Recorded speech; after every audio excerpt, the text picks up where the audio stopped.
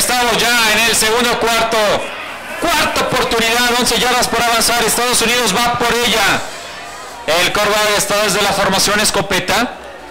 Amenazando un blitz por el lado externo. Va a lanzar. Pase. Se le cayó. ¿De dónde se le cayó ese balón? Me parece que tiene un orificio en medio del pecho. Qué bárbaro, se le cayó y lo que eran seis puntos para la selección eh, mexicana. Yo creo que el esquinero no se la creyó. Que le habían puesto el pase prácticamente en las manos, tenía todo el camino libre por la banda del lado izquierdo para irse hasta las diagonales. La buena noticia pues es que detuvieron a la selección de Estados Unidos y México viene con otra ofensiva más. Esperemos que esta pueda ser la del empate. Sí, caray, Eric Córdoba iba a hacer un touchdown hasta Cancún. Él es de los Leones de la NAC de Cancún.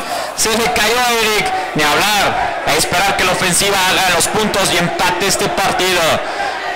Gran entrada. Vamos a repetirlo constantemente porque es de lo bello de realizar este partido en Chihuahua, que la gente siempre responde. Roberto Vega se mantiene, Roberto pase. Uy, me parece que todo el camino iban agarrando el receptor de México, pero el oficial no observó lo mismo, por lo menos no tuvo el mismo criterio.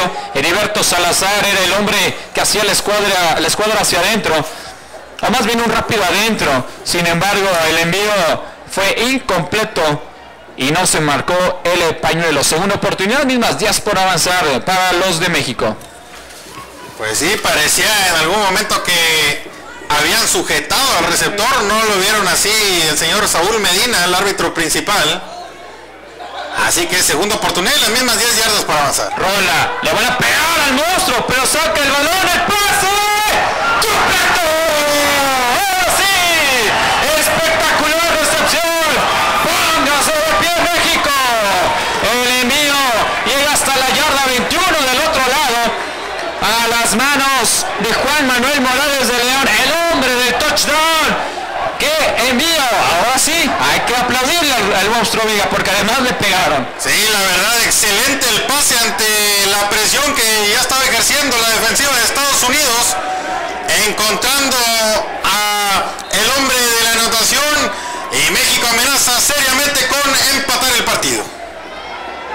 Que así sea. Vega, pase. Uy, ahora sí le falló a Vega. El hombre hace un stop, pero no hace el go. Como en nuestra trayectoria es stop and go. Y se va el coreback pensando que iba a proceder en su trayectoria a la, a la zona de anotación. Se hace eh, obviamente ahí el error. Y todo termina en un pase incompleto. Segunda oportunidad. México tiene que aprovechar la gran posición de campo que tiene. Es muy difícil avanzar Estados Unidos. Y más difícil detenerlos. Ya lo hicieron en dos ocasiones. Así que es importante que saquen eh, puntos. Lo ideal es que se empate este partido, pero pues por lo menos colocar el gol de campo no sería nada despreciable para México. Segunda oportunidad en la yarda número eh, 21 de territorio enemigo. Los mexicanos cuando estamos arrancando prácticamente el segundo cuarto. Hacia atrás, ahora el pase es incompleto. O fútbol es incompleto. Eso eran otros seis puntos para Estados Unidos. Se salvó por aquí la selección mexicana. Desviaron ese pase en la línea defensiva. Y cuando se disponía a, correr, el tackle defensivo se le cayó el balón. Y esto es respiro puro para la selección mexicana. Hubiera sido terrorífico, tres intercepciones. Vega, Vega, pase otra vez a punto de ser interceptado. Otra vez Vega se equivoca, no hace una buena lectura. Y bueno, tres jugadas, cero yardas para México, cuarto down. Y bueno, no le vendría mal aquí a Carlos Altamirano quemar su segundo tiempo fuera y pensar mejor las cosas, qué es lo que quiere hacer, si es que decir por los tres puntos que no sería malo. Pero como vemos las cosas, parece que Carlos Altamirano no tiene muchas ganas de meter a los pateadores el día de hoy. Sí, él quiere touchdown, no quiere goles de campo. Híjoles, qué situación para México porque pues en esta última serie han sido tres jugadas de pase y tres muy malos envíos, dos de ellos cerca de ser interceptados. Así que después de una jugada enorme de Roberto Vega, pues vinieron errores. Afortunadamente para él y todo México, pues no cayó intercepción como ya vimos en el primer cuarto, una de ellas regresada hasta la zona de anotación. Pues la temperatura Gamaliel ha seguido bajando. La gente pues muy bien abrigada aquí en Chihuahua, pero a lo mejor es que se dio cita, que respondió al llamado de, de México, el fútbol americano nacional, para estar aquí en el Tazón Azteca. Definitivamente una excelente entrada del día de hoy, sí, ya el frío se siente bastante fuerte estas horas de la noche aquí en Ciudad Capital, pero la gente con todo apoyando a la selección eh, mexicana y vamos a ver si no, por segunda ocasión el partido se la juegan en cuarta oportunidad, vamos a ver si esta ahora sí la puede concretar. Va por ella, México, Vega, le van a llegar el pase, incompleto de todas maneras, no iba a llegar, le volvieron a caer a Roberto Vega, me parece que lo lastiman, ya se levantó lentamente, pero ya lo hizo Roberto Vega, ni hablar, parecía que México iba a empatar el juego, todo terminó con, con las manos vacías. Defensiva de Estados Unidos comportándose a la altura. Prácticamente todos los receptores estaban cubiertos. Y sale sin punto la selección eh, de México. Y bueno, Carlos Altamirano, pues tiene que pensar más también en el ataque terrestre, no abandonarlo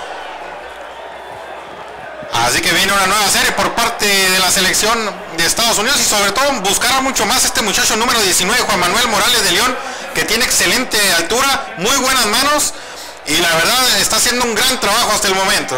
Va por tierra en los Estados Unidos, ahora con el número 34, el hombre que está consiguiendo 3 o 4 yardas, Marcus Bradley, corredor de Greenhill College llevando el balón. Pues México ya había conseguido lo más difícil, detener a Estados Unidos. Sin embargo, la ofensiva no fue capaz de llevar el balón hasta la zona de anotación y eso mantiene la ventaja de 14 puntos a 7 para los Estados Unidos en el segundo cuarto, 13-31 y corriendo lo que le resta a este periodo. Formación escopeta, lo que amenaza en que irán por aire los estadounidenses. No, le entrega al corredor, se embarra ahí entre linieros ofensivos y defensivos. Entrará a jugarse un tercer down. Ya voló un pañuelo. Y me parece que van a castigar a Estados Unidos, Gamaliel. Sí, todo parece indicar que el castigo va en contra de la selección de Estados Unidos.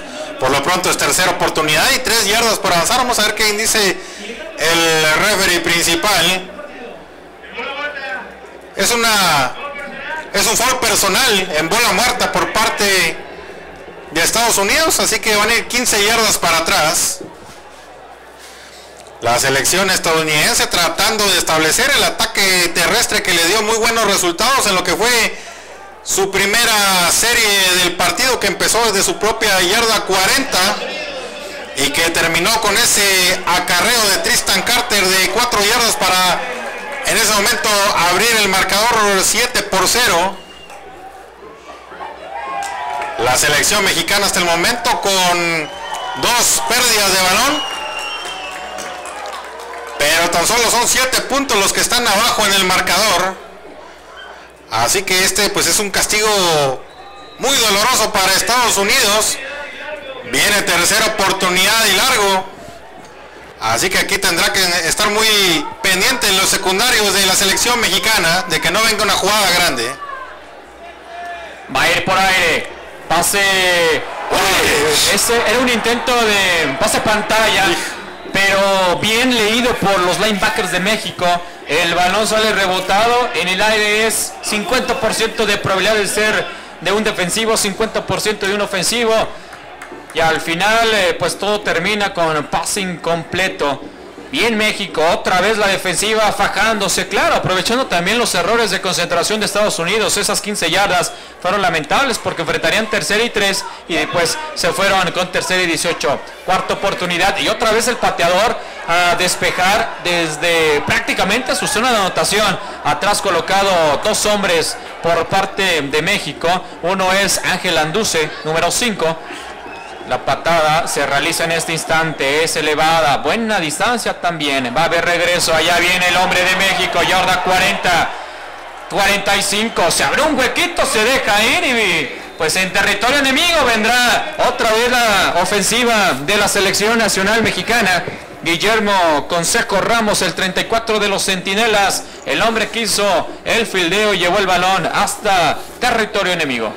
Le queda un tiempo fuera más por pedir a la selección mexicana en esta primera mitad cuando faltan 12 minutos 39 para que finalice la primera mitad de este partido. Si por algo no se puede quejar la selección mexicana ha sido por buena posesión de campo. Aquí están colocados en la yarda 50 prácticamente a mitad de campo y con otra recepción por parte del señor Gregorio Walker. Con la marca de la casa, Gregorio Walker está consiguiendo primer y 10 para México. Extraordinario este receptor de las Islas Watch. Uno de los hombres importantes. De repente, a lo mejor en años pasados viviendo a la sombra de Joseph Holguín pero también dándole muchas yardas y muchas anotaciones a las Águilas en su momento. Primer y entonces para México.